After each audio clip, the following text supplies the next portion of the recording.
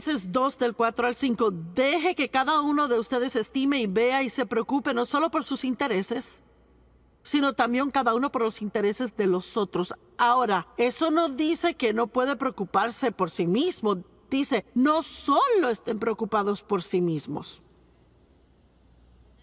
sino preocúpense por otras personas.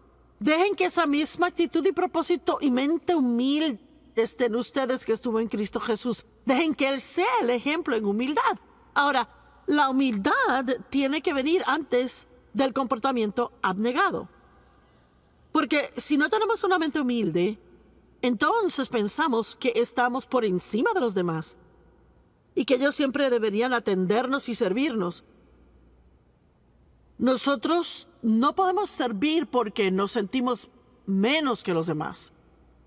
Y debemos entender que si no pensamos que somos mejores que los demás, nos daremos cuenta de que somos todos iguales. Solo porque alguien no puede hacer lo que usted puede, no le hace a usted mejor que a ellos.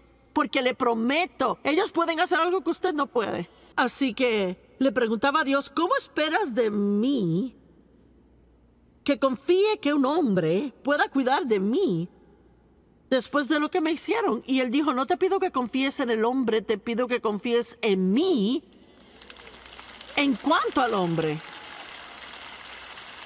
Vea, Dios puede controlar personas, pero nosotros no. Así que he aprendido mucho acerca de esto. Dave me ama y quiere cuidar de mí y él sí toma decisiones que son para mi beneficio. Y él quiere que tenga en realidad todo lo que quiero. Él me dice a menudo, yo solo quiero que seas feliz. Solo quiero que seas feliz. Si quieres un perro y si te hace feliz, compra un perro, si quieres lo que sea. Solo quiero que seas feliz. Bueno, me tomó años para realmente entender que alguien más podía en realidad querer que fuera feliz. Pero vea, así es como se comporta el amor. El amor quiere que la otra persona sea feliz y se sacrifica a fin de que esa persona sea feliz.